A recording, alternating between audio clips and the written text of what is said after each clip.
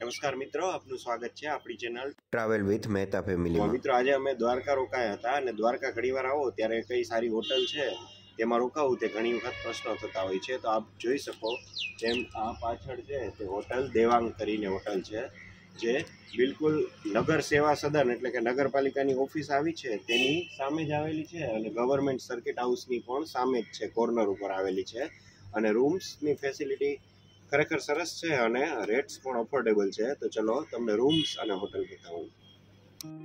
દ્વારિકામાં આ હોટલ પસંદ પડવાનું કારણ તેના અફોર્ડેબલ રેટ્સ તો છે જ, પરંતુ આ ઉપરાંત આ હોટલનું લોકેશન પણ ખૂબ જ સરસ જગ્યાએ આવેલું છે. તોરણ ટુરિસ્ટ બંગલોની સામે જ આ હોટલ આવેલી છે અને અહીંથી દ્વારકાધીશનું જગત મંદિર માત્ર એક કિલોમીટરના વોકિંગ ડિસ્ટન્સે છે. આ ઉપરાંત ભડકેશ્વર મહાદેવનું મંદિર અને દ્વારિકાનો બીચ પણ લગભગ અડધાથી એક કિલોમીટરના અંતરમાં જ આવેલા છે.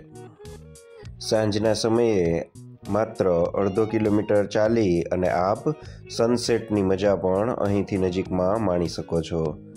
હોટલમાં ઘણા બધા રૂમ્સ છે અને લિફ્ટની પણ વ્યવસ્થા છે. આ ઉપરાંત કોઈ મોટું ફંક્શન હોય તો તેનું પણ આયોજન કરી શકાય તેવા વિશાળ કોન્ફરન્સ હોલ પણ છે.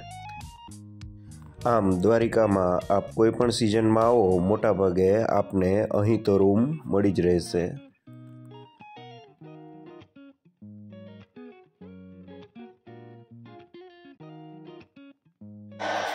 અમે આ એકસો બાર બી નંબરના રૂમમાં રોકાયા છીએ.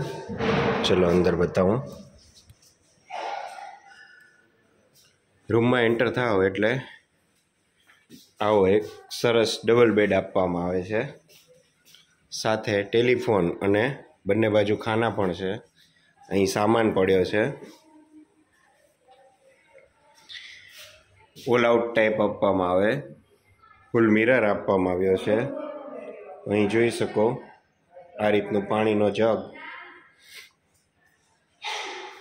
ટીવી આપવામાં આવે. અહીં સ્ટોરેજ માટે મોટો કબાટ પણ આપ્યો છે.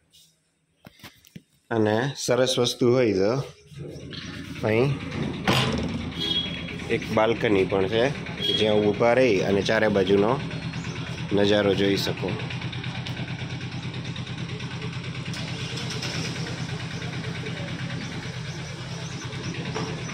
તો આમ એક સરસ રૂમ છે માહી બેડ કેવો છે અને રૂમમાં એસી અને બે ફેન પણ છે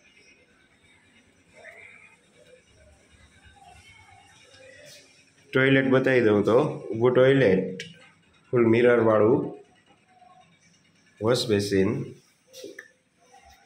અને અહીં ગરમ ઠંડુ પાણી પણ આપવામાં આવે છે.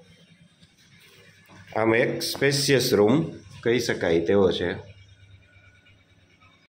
આમ તો મિત્રો, દ્વારિકામાં ઘણી બધી ધર્મશાળા અને હોટલના ઓપ્શન અવેલેબલ છે.